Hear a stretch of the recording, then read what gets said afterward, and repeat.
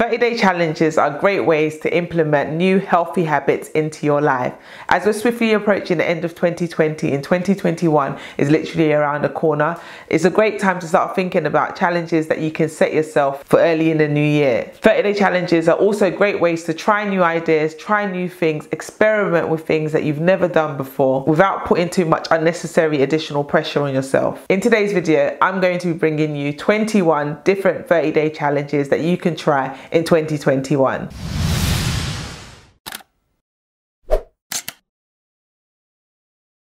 Hey guys and welcome back to my channel. If you're new around here, thanks for stopping by. My name's Tolu and on this channel I share content all around personal finance, budgeting, frugal living and I show you how to live your best life on a budget. Without further ado, I'm gonna get straight into the 21 things. Okay, so the first 30 day challenge I have is daily affirmation. So are affirmations something that you currently do or have ever considered doing? Affirmations can be defined as emotional support and encouragement. So do you do this to yourself on a daily basis? Are you continuously encouraging yourself, motivating yourself, telling yourself how amazing you are and talking to your inner self? If it's not something you've ever done before, it's not something you do, consider taking this up as a 30 day challenge and see how you feel at the end of the those 30 days. I guarantee you that by speaking life into yourself, affirming yourself positively day in, day out for 30 days straight, you're gonna feel so much better about yourself by the end of the month. Another great challenge to try is a 30 day marriage challenge. If you're currently married and you've been with your partner for any length of time, to be honest, it works for people that are newlyweds or people that have been married for many, many years. A 30 day marriage challenge gives you different tasks and things to do on a daily basis towards your spouse. So the idea is that by the end of the 30 day challenge, you see a positive impact on your relationship relationship, your communication is improved, and you just have a better, more thriving relationships. I'll link in the description box below a couple of great 30 day challenges that you can consider trying with your spouse. The next challenge you can take up is a 30 day parenting challenge. In the same way that you can do a 30 day challenge with your spouse, you can also do the same for your children. So day in, day out for 30 consecutive days, it's going to give you different challenges and different things that you need to do towards your kids. So it could be things like affirming them, listening to them, telling them something nice about them, writing them a letter, so many different things that you can do over the course of that 30 day challenge. Again, I'll link in the description box below a couple of great resources for you to do those 30 day challenges with your kids. The next challenge you can try is a random acts of kindness challenge. So this is basically a daily challenge where you do something nice for somebody. It doesn't have to be a family member, it could be a complete stranger. So you could go to the grocery store and pay for the person in front of you shopping or just paying a compliment to somebody that you see on the street that you like their outfit. Any kind of random act of kindness that you can do and log on a daily daily basis. Try this challenge for 30 days and see how you feel by the end of it. Is journaling something that you've ever tried? If it isn't something that you do currently, try and commit to this as a challenge for 30 days. Every single day for 30 days straight, write in that journal your thoughts, your feelings, your experiences, things that you're grateful for, things that you're feeling, things that you aspire to do in the future, how you're feeling mentally, emotionally, physically. All of these things, start writing this in a journal on a daily basis and it'll be amazing to look back at the end of the 30 days over how the month has gone for you. And who knows, this could be something that you can make a continual thing in your lifestyle because I think journaling is an amazing thing to do. It's really good to write down your thoughts and your feelings and your experiences, particularly right now in the time that we're currently in. I mean, we're currently going through a pandemic. 10 years from now, we're going to look back on 2020 and it's going to be one of those monumental years in history. So it'll be really good to have a journal to go back to and reflect over how you were thinking and how you were feeling during this time. Do you currently have any bad habits? Are you a person that bites your nails? Are you a person that grinds your teeth a lot? Are you messy? What are these things that you know are bad habits that you want to change? Why not commit to this as a challenge for 30 days? Give yourself 30 days in order to break this habit and break this pattern of behavior. I think the timing of this video is actually perfect for this next challenge and this is a declutter challenge. New year, new start, new beginnings will be a perfect time to declutter your space and declutter your environment. A clear space will help to clear your mind also. So if it is a case that you have a lot of clutter in your room, in your office, in the children's room, in the kitchen. Set yourself the challenge of going through your house on a daily basis and decluttering items in every single room. There's different ways that you can do this 30 day declutter challenge. It could be on day one, you declutter one item, on day two, you declutter two items, on day three, you declutter three items, etc. etc. etc. Or it could be a take it by room or take it by part of the room each day. So it could be day one, declutter my chest of drawers, day two, declutter my wardrobe. So however you want to do it, it's it's fine. Just try and do that as a 30 day challenge. Again, I'll link in the description box below to a couple of different 30 day declutter challenges. The next challenge is a really fun one and depending on the kind of person you are, this may be a simple challenge or it may be quite a difficult challenge to do. But this is a challenge of taking a photo or a video every single day for 30 days. I know this is something that I don't do enough of, especially with my young children. So I would love to be able to do this for 30 days straight. Take pictures of all my boys every single day. Just really document some more of our memories because with me, I think I tend to just be present in the moment and not really think about capturing the moment too tough. But I think this challenge would be a really good one for somebody who's like me who doesn't do that often because it will make you be more intentional about making sure you're documenting these experiences and all the milestones in which your children are going through. Do something that makes you uncomfortable every day for 30 days.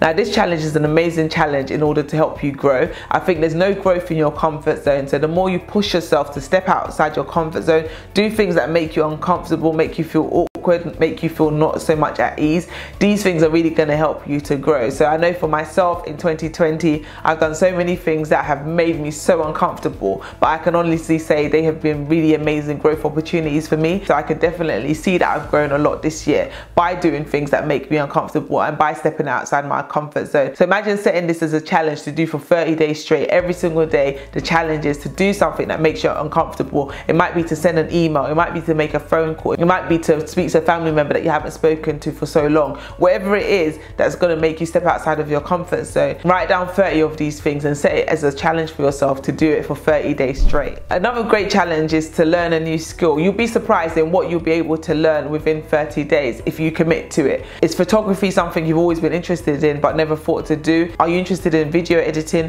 Do you want to learn how to cook? There's so many skills that you can learn, that you can develop. Not saying you don't have skills right now, but there's always areas in which we can grow grow, there's always areas in which we can learn and improve. So find a skill that you really want to develop and commit to it for 30 days. Before 2020, I could honestly say that I hated reading. I was not much of a reader. I didn't like reading books. But thank God for audiobooks because this year I've been able to get through nearly 20 books. And for me, that is a huge milestone because last year I think I made it through about five or six books. So for me to have read more than triple that this year is amazing. But if you're not much of a reader and you don't really like to read, maybe challenge yourself to read one book in one month. So for example, if the book has 300 pages, then take 300 and divide it by 30 and read three pages every single day for 30 days exercise daily exercise and i'm not even saying do anything too strenuous. If you're not a fitness fanatic and you don't like going to gym or you don't like running or doing anything too strenuous just commit to walking daily. So whether it's for 15 minutes or 30 minutes whatever you can manage do that on a daily basis consistently for 30 days.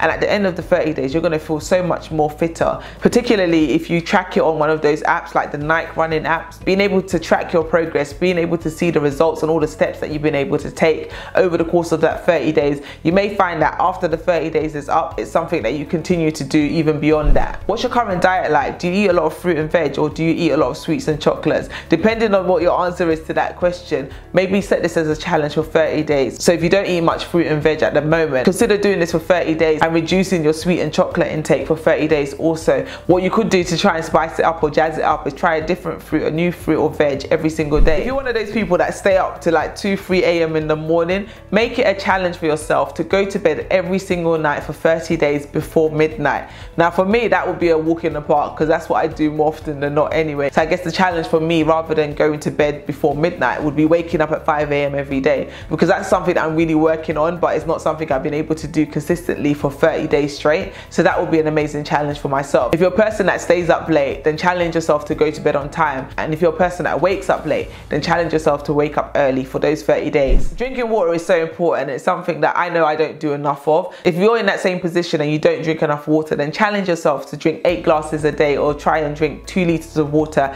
every single day for 30 days straight. Money saving challenges are a great way to save so much money and get in a routine. So there's so many different money saving challenges that you can try. Again, I'll link some in the description box below. And I actually have another video that I'm going to be releasing soon where I share 12 money saving challenges that you can try in 2021. So watch out for that video because it will be coming soon. If you haven't yet subscribed, subscribe so that you don't miss the notification when that video comes out. But in terms of this 30 day saving challenge, what you could challenge yourself to do is make sure you save something every single day. So whether it's one pound a day, £5 a day or £10 a day, whatever you can commit to consistently on a daily basis. Set that as a challenge for yourself to save that same amount every single day for 30 days. Are you addicted to Instagram? Are you addicted to social media? If you are, maybe it's time to give yourself a digital detox and come off of social media for 30 days. So 30 days, no Instagram, no Twitter, no TikTok, no Facebook. If you could commit to that 30 day challenge, trust me, it would be revolutionary for you. I did a 21 day digital detox a couple of years ago, and that was actually the catalyst for me starting my blog and subsequently starting this YouTube channel. So that time alone, that time away from everybody else, tuning out the noise, tuning out everything else that was going on around me, gave me that breathing space, that thinking space to think about what I actually want, what I want to do, and how I want to start earning money online for myself. Coming off social media and coming away from all the distractions helped me to be able to do that. So if you know social media is consuming so much of your life and so much of your time at the moment, then definitely consider doing a social media detox for 30 days. How many languages do you currently speak and do you have an interest in learning a foreign language? If you do, why not set yourself the challenge of learning a new language in 30 days. Now, I'm not saying that after 30 days you're going to be fluent in the language. I think that's a bit unrealistic. However, committing a certain amount of time every day for 30 days, you're going to be a lot better at the language than you were at the start of the challenge. Create a morning routine. I think creating a morning routine that you can stick to for 30 days will really help you build a habit that will actually help you in so many other areas of your life because I think being able to command your morning really has a positive ripple effect on the rest of your day. So if you can get a morning routine that works for you, wake up at a certain time, have your breakfast, do your exercise, do your meditation, do your reading, do your journaling,